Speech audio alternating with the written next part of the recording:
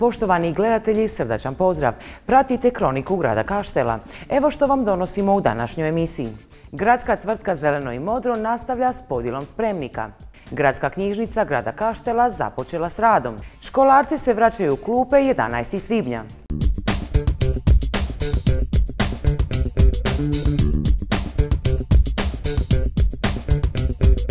Unatoč svim događanjima, preporukama i zabranama vezanim uz epidemiju te smanjen rad pojedinih djelatnosti, tvrtka Zeleno i Modro u proteklom je razdoblju uspješno provodila podjelu individualnih kanti za otpad na tri lokacije u gradu, Kaštel Gomilici, Kaštel Kambelovcu i Kaštel Novom. Da, što se tiče prekida za vrijeme korone, imali smo prekid e, od nekih tjedan dana odmah u početku krize, međutim procjenom situacije zaključili smo da možemo slobodno nastaviti sa podjelom s obzirom da dečki cure koje dijele kante su na otvorenom, održavaju socijalnu distancu i imaju sva potrebna zaštitna sredstva od dezinficijensa, maskica, rukavica i sve ostalo. Koliko je kanti do sada podijeljeno i koji je cilj, koliko će se kanti sve ukupno podijeliti, odnosno kad je zapravo krenula sveukupna ta podjela kanti? Podjela kanti je krenula u rujnu prošle godine, znači u deveti mjesec prošle godine u Kaštel Sučurcu. Do sada smo podijelili preko između 4,5 i 5 tisuća kanti na području Sučurca, Gomilice, Kambelovca, Štafilića i Kaštel Novoga. Sučurac je uglavnom cijeli podijeljen, Znači, ovi korisnici koji dobivaju kante su dobili kante, ostali su nam korisnici koji žive u centru mjesta i neki korisnici u zgradama koji će imati zajedničke kontejnere, odnosno polupodzemne e, kontejnere. Što se tiče e, Gomilice Kambelovca i Novoga, e, planiramo završiti podjelu kroz tjedan, dva dana i nakon toga podjelu nastavljamo u Kaštel Lukšiću i Kaštel Starome. Nakon toga, kao zadnje, ostaju nam radun i rudine. Svi bi trebali dobiti kante, znači sve bi kante trebale biti podijeljene negdje do ljeta. Sad to neće baš biti isključivo početak ljeta, ali u ljeto ćemo podijeliti sve kante. Planirano je podijeliti oko 10, 10,5 tisuća kanti. Imamo tri veličine kanti koje ljudi kante najčešće naručuju i koji je zapravo vaš savjet e, s obzirom na broj e, ljudi u kućanstvu? Imamo e, tri vrste kanti koje bi trebalo ovaj, dodjeljivati s obzirom na broj kućanstava. To su kante od 80, 120 i 240 litara. Kanta za Kanta od 80 litara, prema procjeni i nekakvom iskustvu i nas i ostalih komunalnih poduzeća je dostatna za kućanstvo od 1 i 2 člana. Tri i više članova, 3 i 4 i eventualno 5 članova, njima je prilagođena kanta od 120 litara, dok je ova 240 litara za kućanstva i kuće kojih ima preko 5 članova u domaćinstvu. Ljudi su mahom preuzimali kante i izjasnili su se u konačnici da žele kante od 80 litara kako bi, ja to i razumijem, smanjili iznose na svojim računima. Međutim, sad kad smo podijelili kante, na tim područjima gdje smo podijelili, događa nam se da oni korisnici, oni građani koji su zadužili kante od 80 litara, redovito imaju otpada oko kanti, što automatski znači da im ta kanta nije dovoljna. Znači treba im veća kanta. Ja sve njih e, mogu znači pozvati, mogu im preporučiti da zamijene kantu za veću. Jer mi sad trenutno e, skupljamo te vreće oko kanti, ali u dogledno vrijeme kad se podijele sve kante, kad se maknu svi javni kontejneri, znači metalni kontejneri, kontejneri sa javnih površina, mi ćemo prestati skupljati taj otpad, što se nalazi oko kanti. Puno vam hvala gospodine Lučić na izdvojenom vremenu. Hvala vama. Thank you.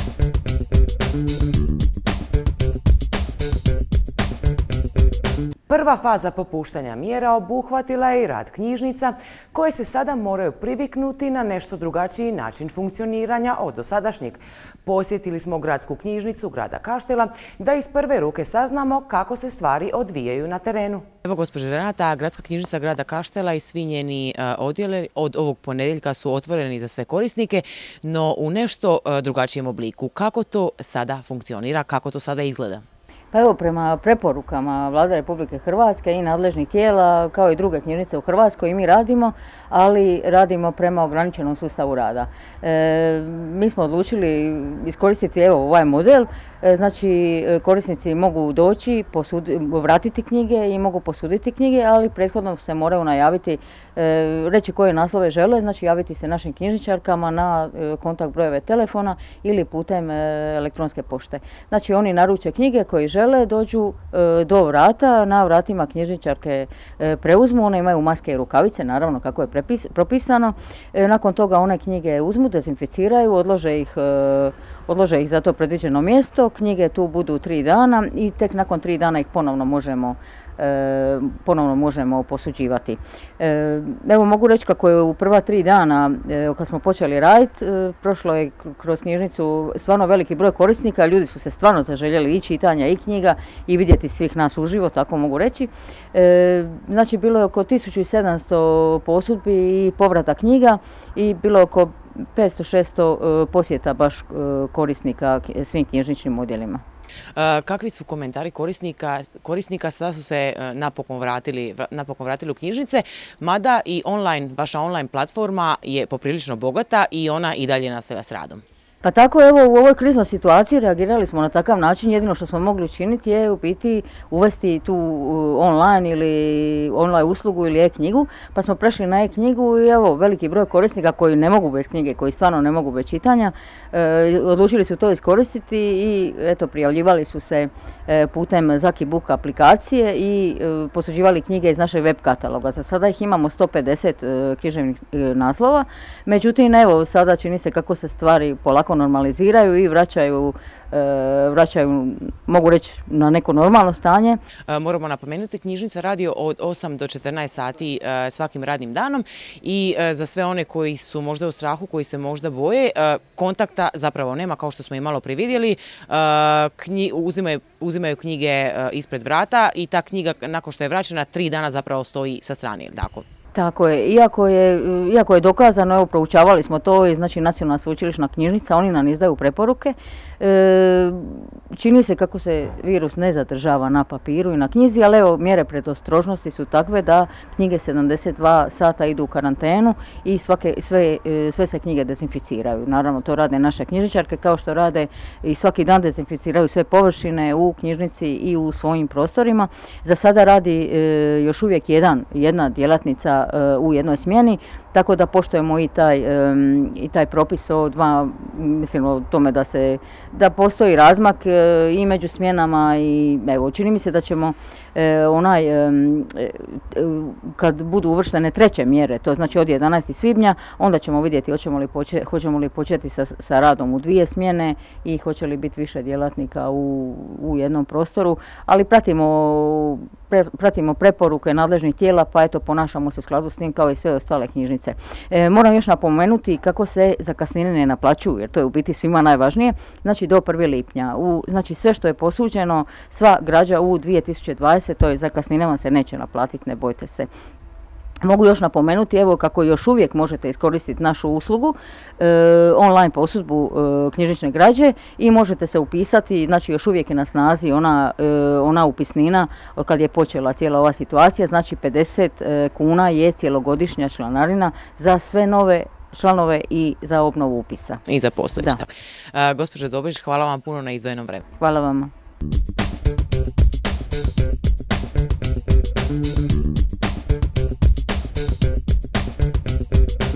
U trećoj fazi popuštanja mjera, koja počinje 11. svibnja, omogućen je odlazak preškolskoj djeci u vrtiće, kao i povratak u škole učenicima od prvog do četvrtog razreda osnovne škole.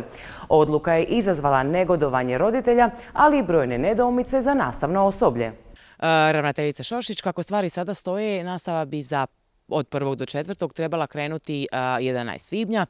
Je li u vašoj školi sve spremno? Što vi kažete na to? Da li ste vi za to zapravo da se da, da nastava krene 11.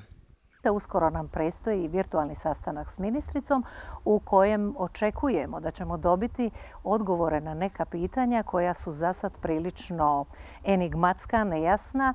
To ne muči samo mene, nego i uglavnom sve moje kolege, kako ravnatelje, tako i učitelje u školama. Očekujemo e, da ćemo dobiti i trebali bismo dobiti konkretne upute kako postupati od 11. svibnja, budući da je po meni tu puno nedorečenih situacija i okolnosti. E, za sad mi to onako izgleda neizvedivo i neprovedivo. Moje je mišljenje da je uz medicinsko osoblje, koje je bilo i jest i dalje na prvoj crti bojišnice, e, da su i prosvjetni radnici i učenici i učitelji su uistinu dali ogroman obol cijeloj ovoj situaciji oko epidemije koronavirusom i e, naravno i roditeljima nije bilo lako. Roditelji su se isto tako morali snalaziti, pomagati djeci. Puno je nedoumica i nejasnoća. Doduše ima još do 11. nekoliko dana, a sve bi se trebalo e, saznati e, do početka. Međutim, ono što, ono što čujemo i mjerenje temperature, e, socijalna distanca koju moramo držati od 2 metra, koliko je, to, koliko je to moguće, koliko je to izvedivo, pogotovo ako pričamo o djeci, o maloj djeci, kako, kako će oni držati tu socijalnu distancu? Jednostavno, šta vi mislite, što vi mislite o tome, je li to moguće da oni drže, drže socijalnu distancu? Pa ja mislim da to nije izvedivo i provedivo na način kako bi je zamišljeno i kako bi trebalo biti. E, sve nekakve varijacije na temu koje će se događati ako do toga dođe po našim školama, mislim da će izazvati puno razno raznih e, reakcija. E, učitelju je prvenstveno njegova svrha u školi je da djecu pouči određenim sadržajima, osim naravno i da ih odgaja uz pomoć njihove obitelji, e, kako će se škole snaći. Kaže se moramo nabavljati naravno i ova dezinfekcijska sredstva koja su većina i nabavila i maske i to, ali mi znamo da na tržištu trenutno je vrlo teško doći i do maskica, da cijene dezinfekcijskih sredstava luduju, da sve te stvari nisu uređene. Osim toga, na primjer, mi imamo dosta veliku površinu školu. Čak i u takvoj školi, mislim da su ove e, mjere neprovedive na način, e, svaki razred bi trebao imati par učiteljica da njih po deset u grupama bude odvojeno, jer naši razredi broje, na primjer, najmanje negdje od 25 učenika. Kako to riješiti? A da ne govorimo o drugoj bremenitoj problematici vezanoj uz odluku vlade od 2. travnja kojom se zabranjuje zapošljavanje, odnosno za svako zapošljavanje moramo dobiti suglasnost Ministarstva financija, a posredno Ministarstva znanosti i obrazovanja. Evo ja imam jednu bizarnu situaciju u kojoj je tajnica duže na bolovanju i e, imamo naravno zamjenu kojoj je sad istekao taj njezin rok. Mi smo zatražili naravno sve ovo po protokolu od Ministarstva financija i dobili smo odbijenicu. Upravo sam napisala na puno adresa u Lijepoj našoj jedno onako slojevito pismo, jer e, nama tajnik u školi treba 24 sata, tako reći. Mi znamo da na dnevnoj bazi, samo od hrpe mailova koji dolaze, u kojoj nešto odgovaram ja, nešto ona, nešto stručna služba i tako dalje, imamo toliko puno poslova da se uopće ne bi sad posebno osvrtala na opis poslova tajnika koji je predviđen pravilnikom o djelokrugu poslova radnika, odnosno tajnika i administrativno-tehničkog osoblja. A ne smijemo zanemariti i zaboraviti da članak 102 zakona o odgoju i obrazovanju u osnovnoj i srednjoj školi propisuje vrlo jasno školska ustanova ima tajnika. Dakle, zakon ga je predvidio, a nekoga onemogućuje. Ja želim jasan odgovor tko je ta osoba, zbog čega se to događa i ko će biti odgovoran ukoliko poslovi ne budu obavljeni iz djelokruga tajnika i ako ne budu obavljeni blagovremeno. Nadam se da u ovim okolnostima to neće biti ravnatelj koji se smatra dežurnom katicom za sve i on je već formulaično odgovoran i dežurni krivac za sve. Ravnateljice Šošić, hvala vam puno na izvedenom vremenu i nadamo se svi da ćemo u narednim danima više toga znati. I ja se toplo nadam da ćemo biti mudriji za koji dan.